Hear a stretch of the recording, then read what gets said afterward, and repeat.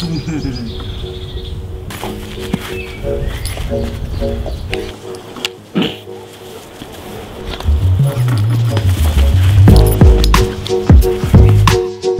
pessoal, espero que tenham gostado do meu primeiro vlog. Vou partilhar então desta vez todos os meus treinos que eu tenho feito durante a semana. Venho. Não, Espero que tenham gostado. Não, não. Este é o vlog número 2. Uh, ah, espero que tenham gostado do primeiro. Não podem ser muito duros nas críticas, porque, como eu disse, foi o primeiro e isto é tudo uma, uma, uma curva de aprendizagem. Uh, mas desta vez vou partilhar com vocês os meus treinos, aquilo que eu procuro trabalhar em casa. Como sabem, durante esta quarentena aqui em Portugal as praias estão fechadas, ou seja, não podemos surfar uh, e daí o trabalho em casa tem sido super importante. Espero que gostem e mantenham-se ativos. Tudo o que é preciso para fazerem estes treinos é um colchão, um elástico, duas bandas elásticas e um peso de 15 kg.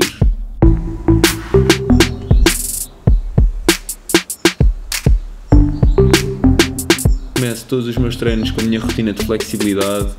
Adoro me sentir ágil, levezinho em cima da prancha e principalmente em manobras que eu, que eu gosto e quero começar a trabalhar. Sinto que é uma grande ferramenta para mim.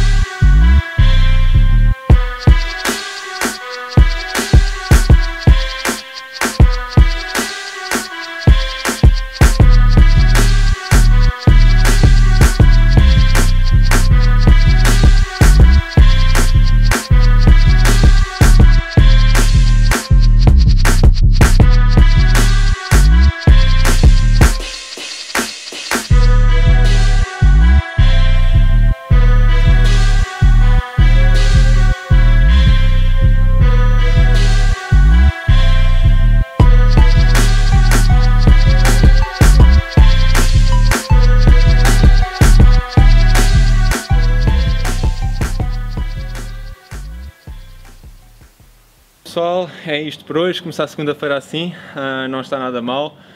Especialmente depois da Páscoa, cheio de ovos de chocolate na barriga, não vou mentir, mas, mas já deu para queimar alguns e espero que vocês tenham gostado. Hoje foi basicamente tudo à volta de core, uh, estabilidade, bacia, tornozelos, ombros, são, são tudo zonas do corpo que nós usamos muito no surf em vários movimentos do surf, por isso acho que foi um bom treino.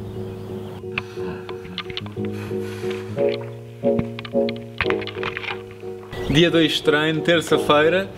Uh, hoje é um full body workout com foco em especial nas pernas. Vai ser difícil na mesma, vai custar. Uh, estou com um bocado de preguiça, mas bora lá fazer isto.